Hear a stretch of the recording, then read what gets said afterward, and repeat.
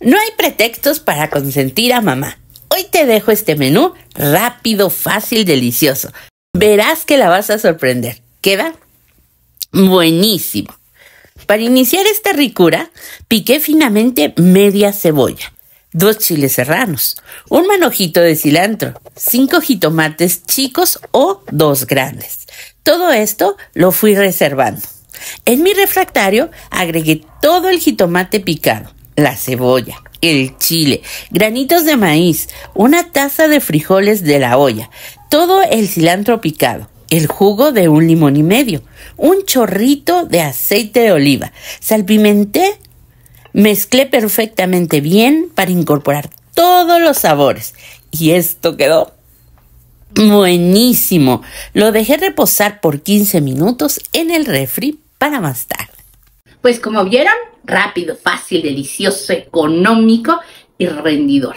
Ya tenemos la ensalada de frijoles reposando un rato. Tú la puedes servir, mi tesoro bello, en tostadas, con galletas, pero también puede ser el acompañante ideal para un bistec, para una pechuga, para un queso asado, hasta para un huevito. En esta ocasión yo lo voy a hacer con unas agujitas norteñas. Es así que las voy a llevar, ya están sazonadas con pimienta y sal.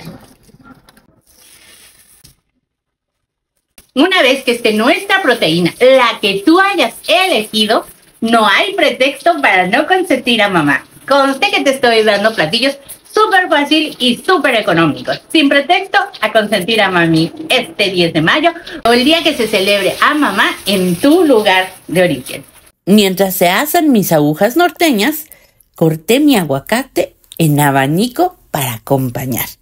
Y ya con todo listo, es hora de servir. Estas agujitas norteñas huelen riquísimas. Serví en mi plato dos agujas norteñas y mi sabrosa ensalada. Te recuerdo, tesoro bello, que tú puedes utilizar la proteína que más te guste o servir esta ensalada en unas ricas tostadas. Damos gracias a Dios por cada mamacita en esta tierra y por aquellas que ya se fueron. También le damos gracias a Dios por la oportunidad de haberlas tenido y conocido. Ahora sí, es hora de probar estas delicias. Mm. Esta ensalada queda increíble, me fascina. Mm. Como te comenté, también las puedes hacer en tostadas. Puedes consentir a mamá y darle la sorpresa que tú mismo preparaste sus alimentos. Les mando un fuerte abrazo a todas las mamitas de este mundo. Que Dios me las bendiga. Besos. Nos vemos en la próxima.